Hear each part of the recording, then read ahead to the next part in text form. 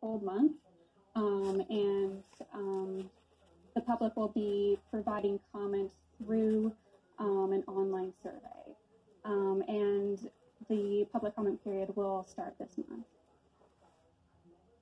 So another um, main component of the research solicitation phase is the SOC um, themselves. They're going to be meeting several times in this phase, uh, four to five meetings over the next four months. And these meetings will be primarily focused on developing important components of the request for proposal, um, such as the scope of work, um, which will clearly define elements of the health study projects. Um, in addition, the meetings will focus on finalizing the health study goals and priorities um, based on review of the community feedback, and um, this will be incorporated into the RFP. Um, and also another um, item that the uh, Scientific Oversight Committee will focus on during these meetings is cri criteria um, and their weights for evaluating the proposals that are received. So in addition to the work that the Scientific Oversight Committee will be doing and the guidance that they'll be providing um, in this phase, um, we'll also be having um, detailed discussions with our um, uh, contracts and grants department um, to develop components of the RFP, including um, minimum, minimum mandatory requirements, um, the evaluation criteria, and importantly, um, planning promotion of the RFP once it's released. So promotion of the RFP will include posts on the public health websites, the Aliso Canyon website, and social media. Um, Additional promotional efforts will also be discussed with the Scientific Oversight Committee to ensure that we are reaching a broad audience and that we solicit uh, numerous proposals that are um, that that um, that are uh, scientifically promising. Um, so, lastly, I just wanted to get into the RFP um, a little more. So, um, Public Health is aiming to release the RFP in the spring of um, this year and it will be open to all interested research groups, organizations, and academic institutions and others. Um, the timeline is still emerging for the RFP, um, and it will become a little clearer the further along we are in this process. Um, and the proposals that we do receive will be evaluated using the criteria and the, and the weights of the criteria, which the Scientific Oversight Committee will um, have helped establish. Um, and the evaluation committee itself um, we're, we're working with our counsel currently in contracts and grants um, to determine um, who can be on the evaluation, uh, evaluation committee, um, but we would like for there to be scientific experts on this committee. Um, that kind of sums up um, many of the different elements that we're going to be working on in this research solicitation phase, advancing the program as we're looking forward to releasing the RFP. Um, so, um, Susan, I think we can take questions on this. I know it was a lot of information. But... Sure. Um, so I know, Andrew, you had a question previously, and I told you you'd be the first up here. Um, and Lori also has a question. she had her hand raised in the chat. So, Andrew, do you want to go first? Sure. Thank you, Susan. Um, you know, something that has, has dumbfounded me for a while um, is, and the CAG has made this request multiple times um, regarding, you know, a, a broader partnership um, with the WHO or the NIH, um, and that this worst of disaster got none of that. Um, you know, as, as a victim of this, uh, that is a thought that doesn't that, that I can't let go of. Another one is this: everyone on this call knows what knows what the Deepwater Horizon disaster was. Some on this call will know that there is a very large study being done related to that. It's called the Gulf Study. What I can't get my head around is the Gulf Study, very simply, and I assume, and I have to assume, because the CAG has asked repeatedly for a sample goals and priorities document and received nothing from public health. But let me throw this out into the world. The Gulf study very simply said if you help clean up the oil spill for one minute or for or every day, We want to know the effects of your exposure to crude oil on your body. I don't understand, and I really would love, and quite frankly, Dr. Sistrunk, who is a SOC member, is on this call. Dr. Nordella, who is a SOC member, is on this call.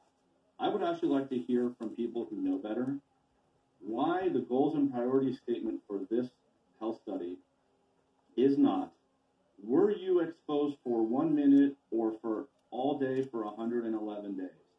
If you were, we want to understand the effects on your body from this exposure. Done.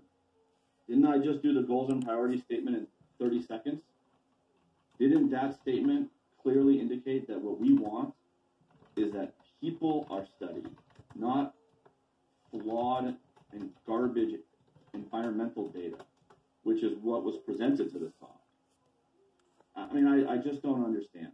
And the community should also know, again, kind of for full disclosure, unfortunately, because of COVID last year, the CAG and the SOC were supposed to spend a day together, literally touring the, our neighborhood, showing them where the facility is, showing them where the homes are, showing them where, you know, the pictures of all the oily mist of the toxic crude oil was.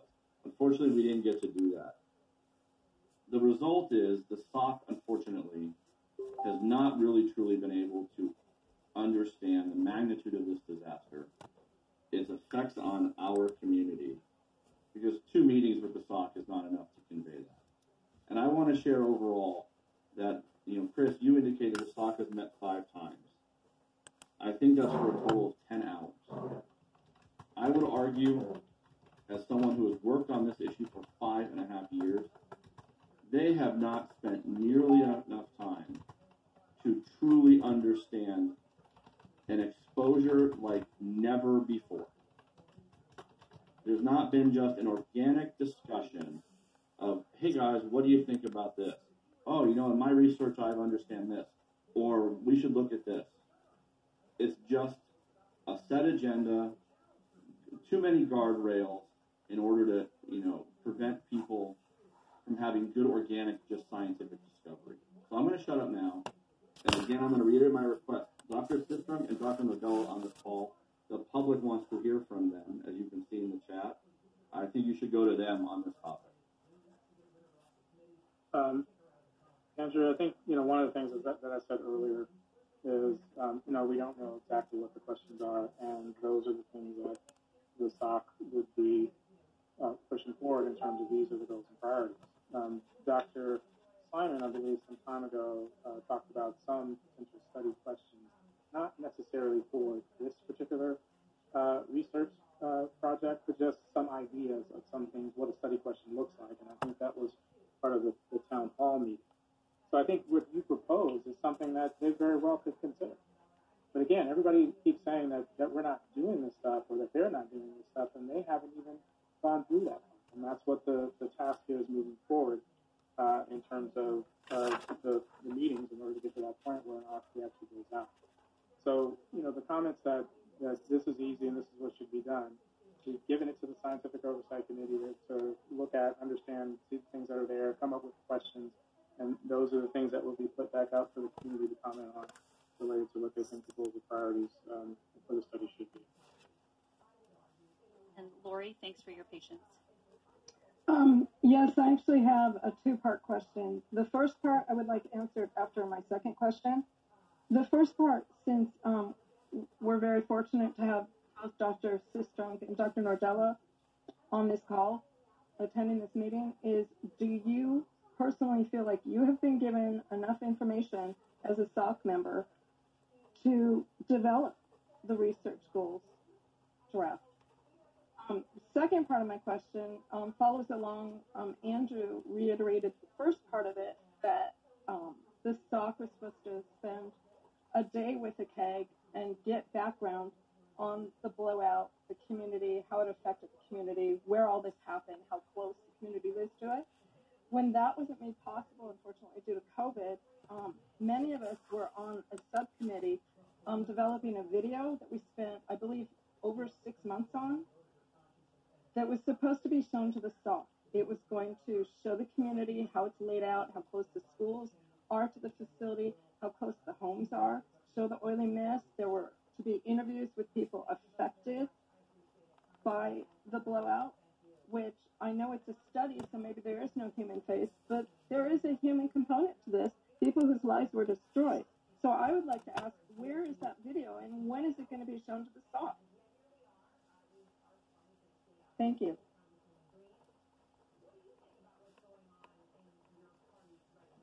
Thanks, Lori. Um, Dr. Davis, if you're responding, you're still muted.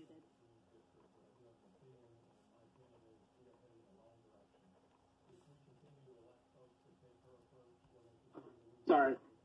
Um, so that uh, video, I think we, you know, we have to think about, um, you know, which, you know, how to move forward. I think the SOC has gotten information, at least in terms of the layout. And Chris, you'd have to tell me if I'm correct, uh, of, you know, the where things are located uh, in terms of uh, the facility and what's around it. Um, but I, uh, I don't know if you have any additional thoughts or uh, insights or tell us, you know, exactly what happened in terms of information.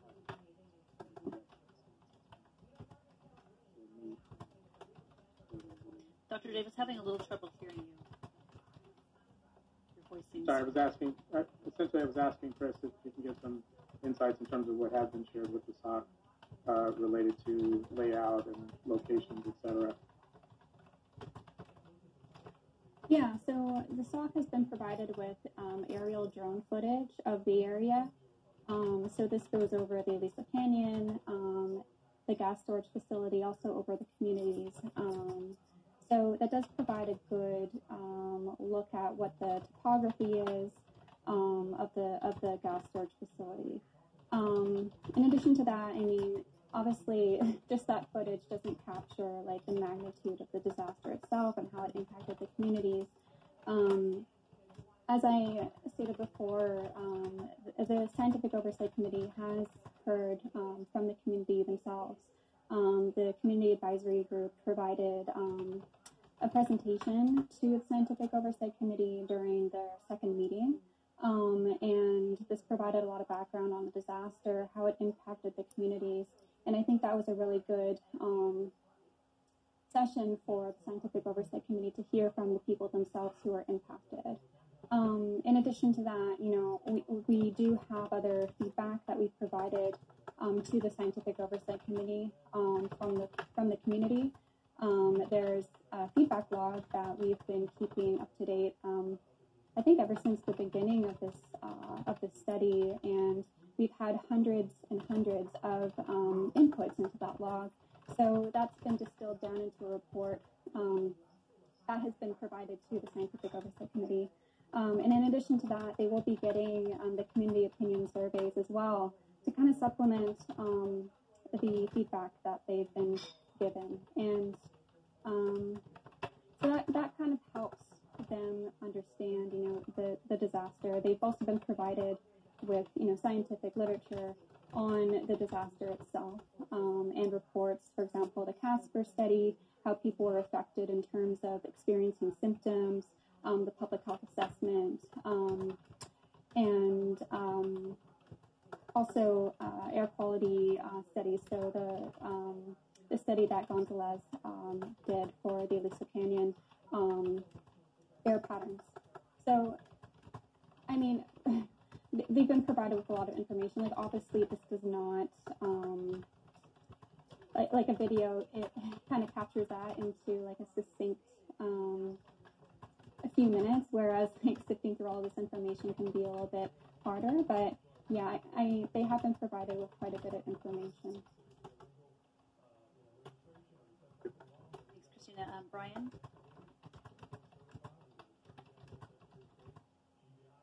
Okay, um, I want to, you know, I'm I'm listening to this co- the commentary from DPH here. I'm listening to them in a very calm voice.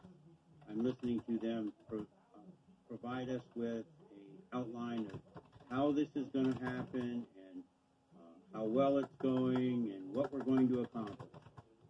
What I don't hear, and I have made this point